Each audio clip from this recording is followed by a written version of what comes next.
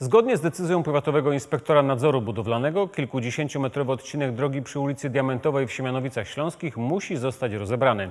Zdaniem inspektora droga powstała nielegalnie. Smaczku całej sprawie dodaje fakt, że ten krótki łącznik prowadzi do osiedla, na którym mieszka prezydent Siemianowic.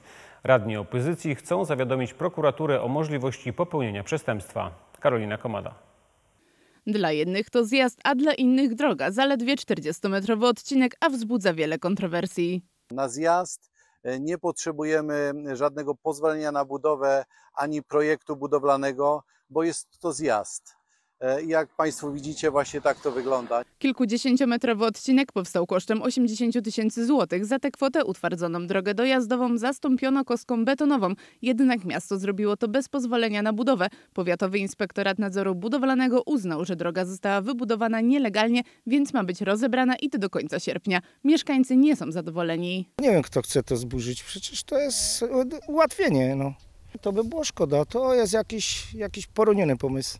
Bardzo dobrze, że ta droga powstała. Szkoda, że nie ma chodnika do porządku, bo i tak dzieci do szkoły chodzą bokiem po ulicy, gdzie jest niebezpiecznie. E, Przedtem w ogóle nie było, było bagno jedno i, i tak dalej. Nie ma światła, nie ma nic, a niestety, ale dużo dzieci mieszka na tym osiedlu.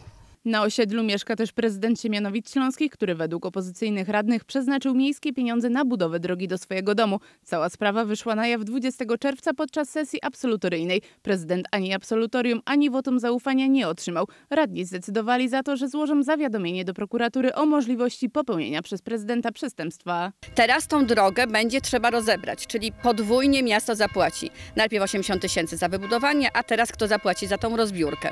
E, tym bardziej, że Klimp e, wskazał, że można się było od decyzji odwołać, można było tą e, drogę zalegalizować, e, czego pan prezydent ani jego służby nie zrobiły. Podczas zwołanej na czwartek nadzwyczajnej sesji Rady Miasta radni oczekiwali wyjaśnień od prezydenta. Dlaczego, drugie pytanie, nie zostały podjęte żadne działania właśnie legalizujące po piśmie z PIMB-u? Na większość pytań odpowiedzi jednak nie dostali. Rafał Piech nie odniósł się do sprawy w ogóle. Jego zastępczyni tłumaczyła, że to nie droga, a zjazd na budowę którego nie trzeba pozwolenia. Zachodzi e, podejrzenie, że ktoś celowo zlecił lokalizację zjazdu, a potem zaczął udawać, że to jest droga. Kto, ktoś, kto zna się na sztuce budowlanej, kto ma do tego uprawnienia. Jeśli chodzi o pytanie, e, dlaczego nie e, legalizowaliśmy drogi, ponieważ to nie jest droga. 14 radnych zdecydowało o zawiadomieniu prokuratury o podejrzeniu popełnienia przestępstwa przez prezydenta. Czterech wstrzymało się od głosu.